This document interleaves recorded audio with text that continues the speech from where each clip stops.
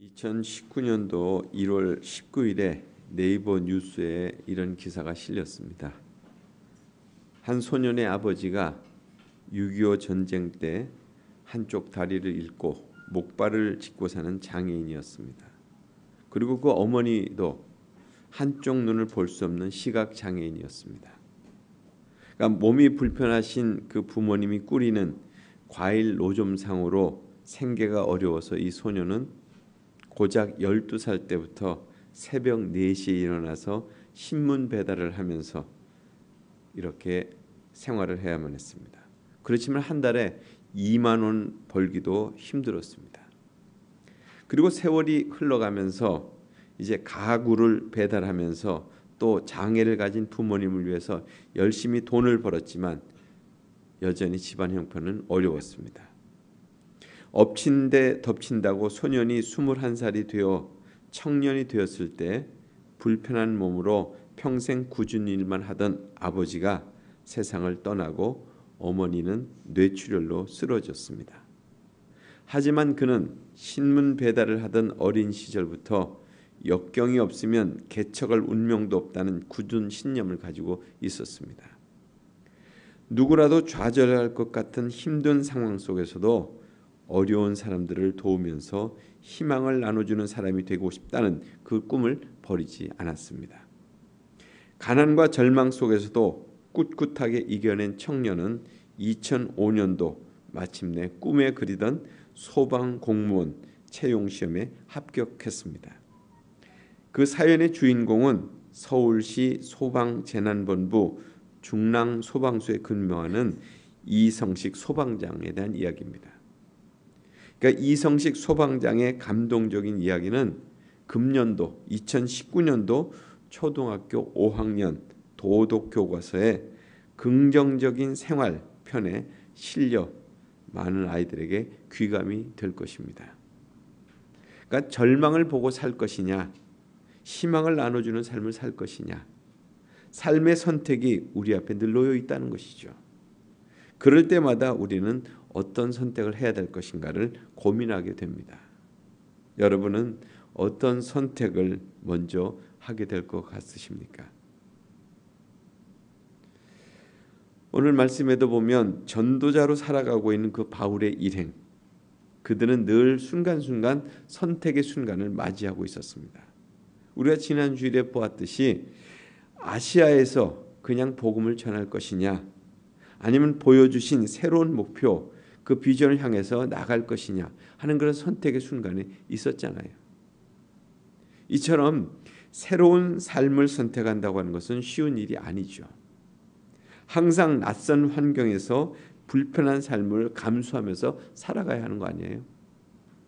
그래서 개척자의 삶을 산다고 하는 것은 한편으로는 어려움을 감수해야 되는 위기가 늘 함께 있습니다. 더구나 복음 전도의 길을 산다고 하는 것은 더욱 그런 요소들이 많은 것이죠. 오늘 본문에는 아시아에서 유럽으로 건너가는 장면이 나옵니다. 유럽 최초로 마게도니아의 빌립보에서 전도하는 장면이 보여지고 있습니다. 사도행전 16장 10절에서부터 보면 유명한 우리라고 하는 표현이 나오죠. 그러니까 사도행전의 저자인 누가가 바울의 일행에 포함되어 있다 하는 그런 표시입니다. 여기서 바울의 일행은 우리가 아는 것처럼 바울, 신라, 디모데, 누가 이렇게 기본적으로 네 명이라고 할 수 있습니다. 먼저 바울 일행이 아시아에서 유럽으로 건너가면서 거쳐간 중요한, 중요한 경로부터 살펴본다면 지도를 한번 보여주세요. 드로아에서 배로 떠나 사모드라가로 직행하여 이튿날 네아폴리로 가고 거기서 빌립보에 이르니 이 구절을 보면 빌립이 네 도시를 이렇게 바울이 건축한 네 도시가 여기 소개되고 있습니다.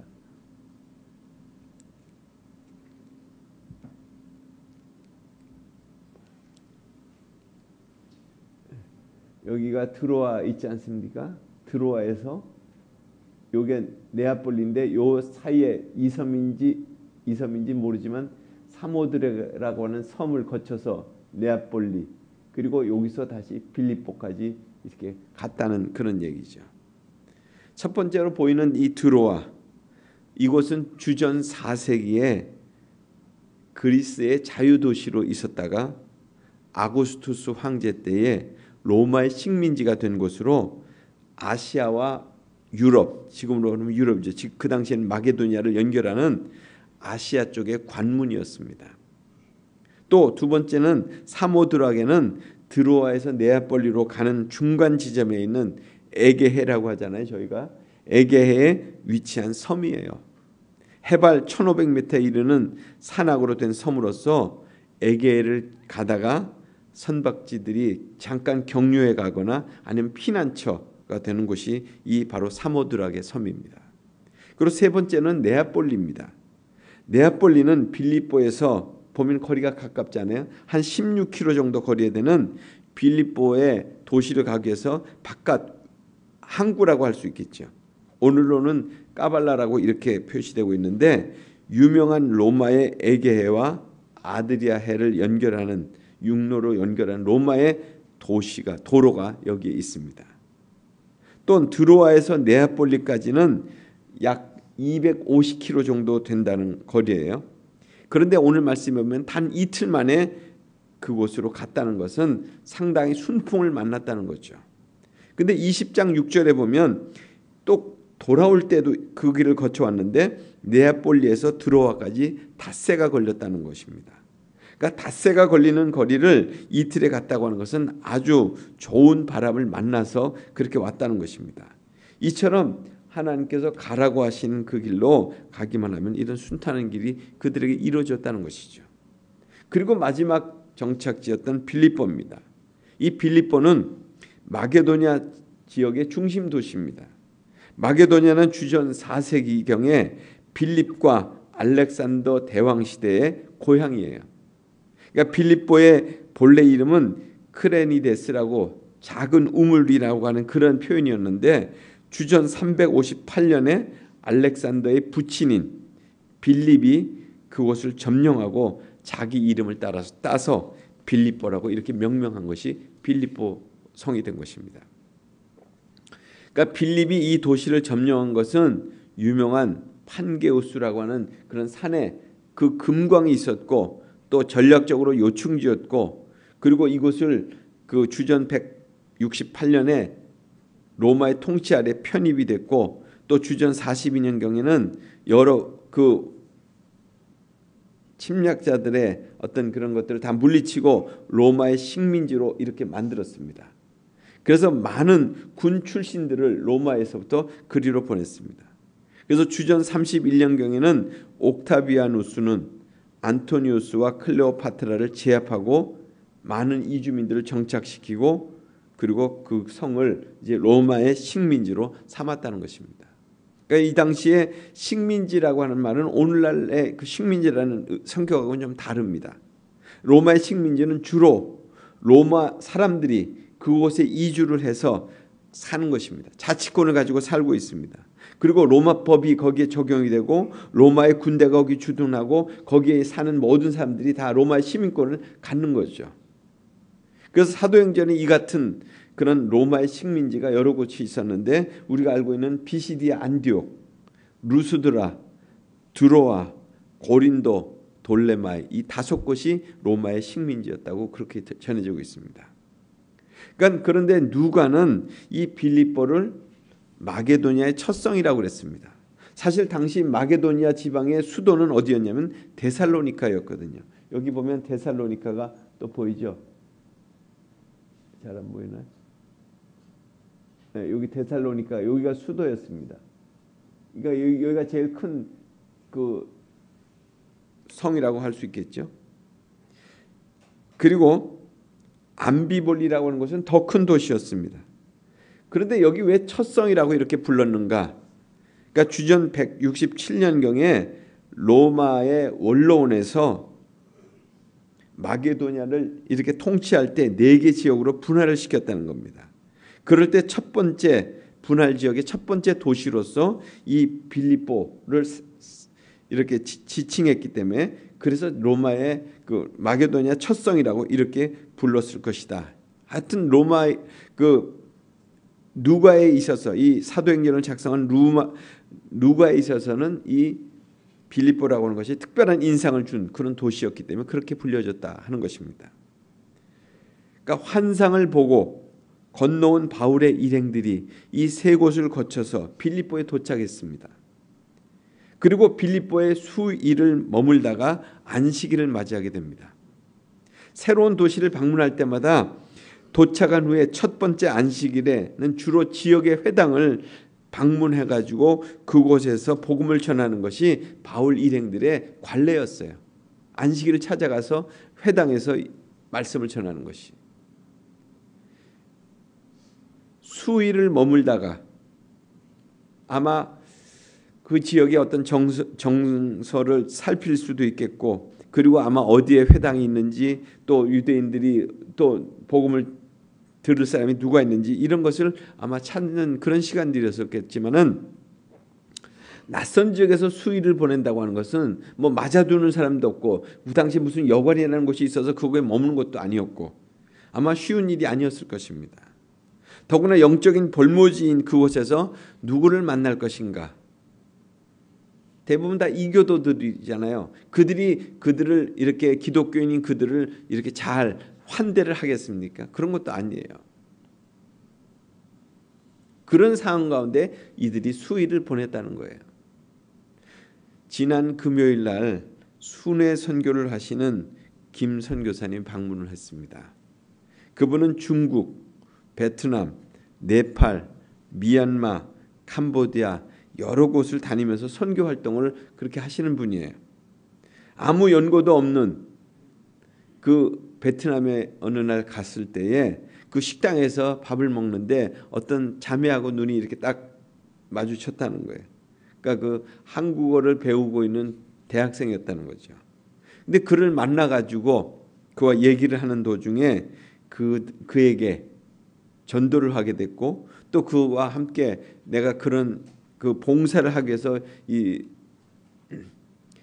소수민족에게 봉사를 하기 위해서 이곳에 왔다고 하니까 자기도 참여하겠다고 하고 이렇게 해서 그들과 함께 그 친구들과 함께 그곳에다가 공동체를 만들고 오셨다는 얘기를 하더라고요. 사실 누구를 만나게 될는지 알 수 없는 상황 가운데서 그들을 만나서 대화하면서 베트남 선교사에게 이루어진다는 말씀을 들을 때에 참 주님의 일은 주님이 하신다 이런 마음이 들었습니다. 그것은 사실 사회주의권입니다. 함부로 복음을 전하는 것도 쉽지 않은 것이에요. 아무튼 바울의 일행들은 전도하기에 앞서서 오늘 말씀에 보면 기도할 곳을 찾았다는 거예요. 그 지역에 회당이 있었다고 할 것 같으면 회당으로 갔었을 것입니다. 그러니까 유대교법에 의하면 유대인의 유대인의 남성이 10명 정도가 있어야 그 지역에 회당을 만들 수가 있었거든요. 그런데 그 당시에 글라디오스 황제 때에 모든 그 유대인들을 다 추방을 했습니다. 로마의 로마로부터 로마의 식민지로부터 다 추방을 시켰습니다.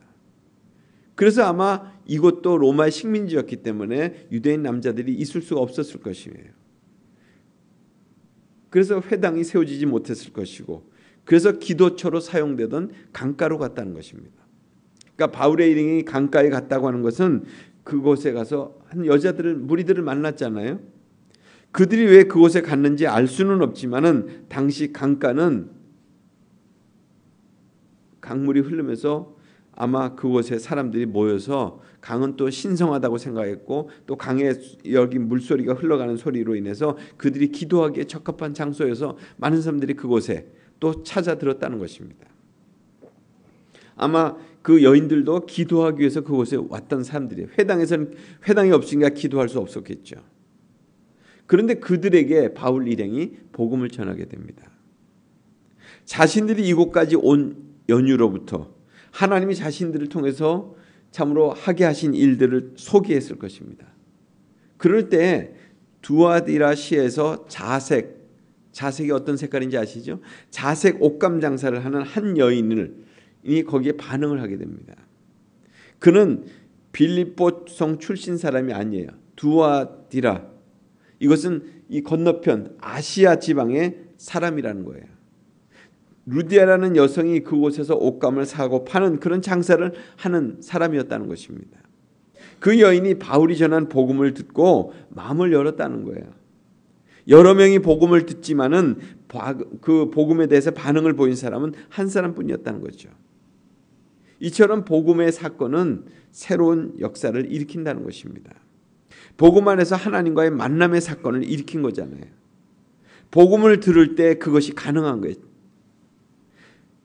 누가 루디아의 마음을 열었겠습니까? 오늘 말씀에 보면 주께서 그, 그 마음을 열으셨다는 거예요. 주께서 바울의 말을 들을 때 그녀의 마음을 열어서 복음을 받아들이게 하신 분은 바로 하나님이셨다는 거예요. 그럴 때 우리가 기억나는 말씀이 있습니다. 바울의 고백이죠. 나는 심었고 아볼로는 물 주었고 오직 하나님은 자라나게 하셨나니 그런즉 심는 이나 물 주는 이는 아무것도 아니로되 오직 자라나게 하시는 이는 하나님뿐이시니라. 그러니까 바울의 고백을 생각나게 하는 그런 장면이에요. 이 장면은 하나님은 루디아에서 루디아에게 복음을 사모하는 마음을 주셨기 때문에 그 안에 그런 역사가 일어나게 하셨잖아요. 그러니까 복음을 받아들인 루디아가 어떻게 했습니까? 그와 그 온 집이 다 세례를 받았다는 거예요. 그 당시에 세례 받을 때 복잡하지 않다고 그랬죠. 자기의 믿음의 확신이 예수는 그리스도이십니다. 이런 고백이 있으면 바로 그, 그 자리에서 세례가 베풀어진 거예요. 베드로가 고넬료의 집에서 한 것처럼 또 그 빌립 집사가 간닥의 내시를 바로 세례를 베푼 것처럼 그렇게 세례를 베푼 거예요. 그러니까 이방 땅에서 이루어지는 복음의 역사는 하나님 하시는 일이다 하는 것을 우리가 분명하게 보게 되는 거죠. 저도 오래전에 한 16, 7년 전쯤에 백두산 아래 마을에 한 조선족 할머니에게 세례를 베푼 사건이 기억이 났습니다. 여러 차례에 걸쳐서 그 당시에 김준봉 그 교수 선교사가 그 지역의 민가들을 이렇게 조사하러 다니면서 다니다가 그분을 접촉을 해가지고 그분에게 아마 복음을 조금씩 소개했던 것 같아요. 아마 그래서 우리가 그 집에 또 머물게 되었고 그런데 그 세례를 주기 전날 저희 집 사람이 그 할머니 조선족 할머니에게 복음에 대한 것들을 쭉 설명을 해 주었습니다. 또 그분이 그것을 어느 정도 이해했고 받아들여졌고 그래서 이제 다음 날 우리가 세례를 베풀기로 그렇게 약속을 했죠. 그런데 그분이 그 다음 날 새벽같이 일어나셔서 준비를 하시고 그리고 그리고 세례를 받으셨습니다. 그러니까 그분은 하나님의 자녀가 된다고 하는 것에 대한 소망이 있으셨던 것. 그 참 어떻게 보면 자기의 아버지 때부터 자기 남편과 그 집 이렇게 어떻게 보면 귀틀집 아주 들어가면 머리가 닿을 만한 그런 그 만주의 한 그런 작은 집이었는데 그 집 안에서 바깥이 워낙 추우니까 그 그 안에서 동물도 키우고 그리고 자기의 살림집도 있었고 그리고 거기서 무슨 그 부뚜막이 있어가지고 거기서 다 밥도 해먹고 이, 렇게 하면서 그곳에서 오랜 세월을 살았던 그분에게 있어서 그런 소망이 이렇게 생겨났다는 거예요. 내가 세례를 받아야겠다. 하나님의 자녀가 되겠다. 사실 그 중국은 지금은 더하지만 그 당시에도 사실 아무에게나 외국인이 와서 세례를 베푸는 것이 허락이 안 된 거예요. 종교의 자유가 없는 중국 땅에서 세례를 베푼다고 하는 것은 주님의 은총이 아니면 있을 수 없는 일이죠. 저희도 그래서 그날 새벽에 세례를 베풀고 그리고 다른 곳으로 또 떠나간 거죠. 이처럼 복음의 역사가 일어나는 원동력은 다 하나님께로부터 온다는 거예요. 바울의 일행도 기도할 것을 찾다가 복음을 전하게 되고 그 중에 한 사람이 복음을 받아들여서 자신의 가족 모두가 세례를 받고 또한 자신의 집을 교회로 내주어서 복음을 전하게 하는 건 통로로 삼잖아요. 이 같은 역사의 시작은 주께서 그 마음을 열어서 바울의 말을 따르게 하셨기 때문에 시작된 거 아니겠어요? 마음을 연다고 하는 것은 뭐, 뭡니까? 중심으로 듣는다는 거 아니에요. 우리가 기도할 때도 마찬가지겠죠. 마음을 열고 기도해야 하나님의 말씀하심을 우리가 들을 수 있는 거죠. 루디아는 말씀을 들을 때 마음을 열었다는 거예요. 바울이 전한 복음을 하나님의 말씀으로 받기 위해서 마음을 열었다는 것입니다. 주님께서 그렇게 하셨다는 거예요. 그래서 믿음이라고 하는 것은 은총입니다. 나의 의지대로 내가 믿어야 되겠다 해서 믿는 것이 아니에요. 하나님께 대한 갈망이 있을 때에 그런 은혜가 우리에게 부어주는 거죠. 우리는 사실 말하는 것부터 배웠잖아요. 그래서 듣는 것이 그렇게 습관화되어 있지 않습니다. 우리가 반복적으로 학습해야만 잘 들을 수가 있어요. 우리가 한 달에 두 번 하는 말씀과 중보 기도에서도 우리가 계속 말씀을 읽어가면서 기도하잖아요. 그럴 때 말씀 속에서 주님의 음성을 들으려고 우리가 기도하는 거예요. 우리의 간구를 우리가 소원하는 것을 기도하기 위해서 기도하는 것이 아니고 주님이 말씀 속에서 우리가 어떻게 말씀하시는 가 그걸 들으려고 기도하는 시간이 말씀 기도회거든요. 말씀 속에서 나에게 말씀하시는 하나님의 말씀이 무엇일까를 듣는 시간이 바로 그 기도의 시간이에요. 우리가 진정으로 들을 때에 우리의 기도도 참된 그리스도의 삶과 신앙이 시작될 수 있다는 것입니다. 의리아가 들었던 말씀은 무엇이었겠습니까? 자신에게 주어진 주신 하나님의 음성이었어요. 그래서 자신의 전부를 하나님께 드릴 수 있었던 거예요. 낯선 나그네들인 바울의 일행을 자신의 집에 드린다고 하는 것이 쉬운 일이겠습니까? 더 강력하게 권해서 자기 집에 머물라고까지 했어요. 자신에게 들려진 하나님의 말씀이 이처럼 그 삶에 확신을 준 거 아니에요. 그 말씀이 있을 때 믿음으로 어떤 상황 가운데서 그 상황들을 이겨낼 수 있는 거죠. 자신에게 주어진 그 말씀이 자신을 하나님의 사람으로 거듭나게 하는 것입니다. 거듭나게. 그러니까 루디아는 말씀을 받고 자신의 집을 개방하고 그래서 교회로 삼고 복음의 전진 기제가 되게 했잖아요. 우리에게도 주님의 말씀을 사모하는 그런 은혜가 있기를 소원합니다.